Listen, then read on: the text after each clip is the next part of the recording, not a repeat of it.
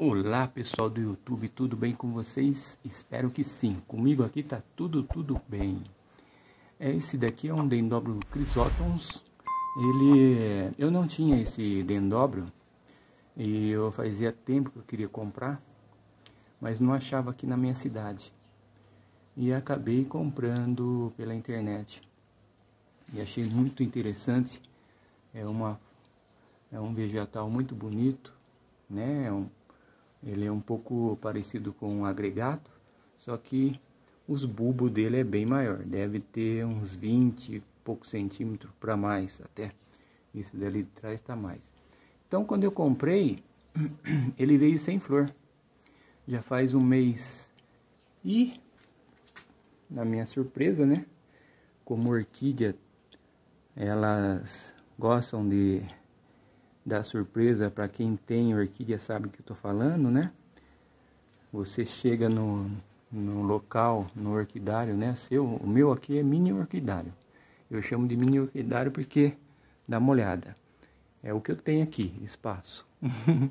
então é meu mini orquidário. Então esse esse dendobro aqui, né, o crisótomos, ele ele, é, eu quero, ele veio num vasinho bem pequeno, dá para perceber que ele é bem pequenininho, né? Ó, pela quantidade de dedo aqui, ó. Uns 4 dedos de altura, deve ter uns 13 centímetros, 12 centímetros. E ele é pequeno. Tem, tá plantado macadâmia, esfagno. Eu coloquei é, o coach, né? Forte coach aqui, ó, para ele. Coloquei também o lesmicida aqui também para como veio de fora, não sei se está contaminado com lesma e caramujo, né? Então eu faço isso aqui no meu orquidário, tá? No meu mini orquidário. Então, olha que lindo que é a flor de perto.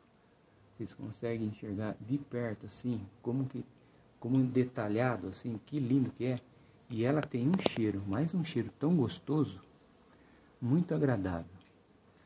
É, eu vou tentar fazer né, mais para frente, colocar em, né, vou passar ela para um vaso maior e tentar fazer uma toceira dela, que eu acho muito bonito. Eu quero mostrar para vocês, mais ou menos eu quero fazer assim, ó, mostrar para vocês aqui, ó. Mais ou menos assim. Quero fazer um cachepô, ó. Esse daqui é um dendróbio densiflorum, tá? E ele, ele dá bastante flor também. Dá uns cachos muito bonitos. Só que é 3, 4 dias e já acaba. Igual aqui, ó. Uns estão começando a abrir e outros já estão secando. Aí, ó. Já secou. Aqui pra cá também. Tá vendo? Tem vários deles. Tem até um outro vaso ali na frente. Mas, vamos voltar aqui.